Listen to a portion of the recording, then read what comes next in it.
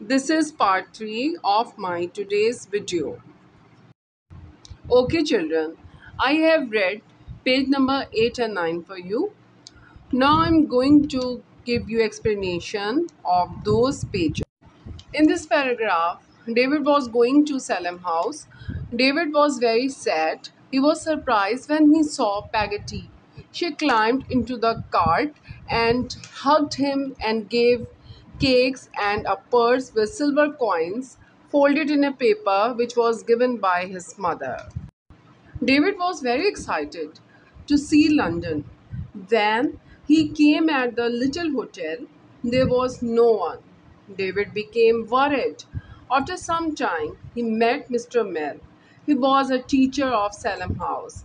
Mr. Mell took David to an old building that was Salem House, but there was no student in the school, and Mr. Mell told him that there were holidays and all students went to their homes.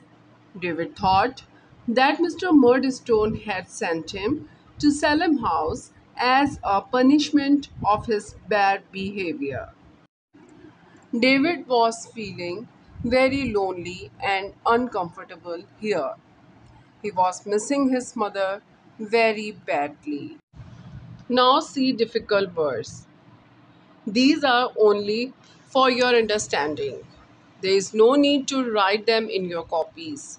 Only underline them in your books. Difficult words of page number 8 are Number 1 carriage, Number 2 luggage, Number 3 handkerchief, Number 4 seized, Number 5 squeezed, and Number 6 precious. Non-difficult words of page number 9. Number 1. Whispered. Number 2. Discovered. Number 3. Punishment. And number 4 is behavior. Now the homework from today's lecture is to read page number 8 and 9. See you in my next class. Till then, Allah Hafiz.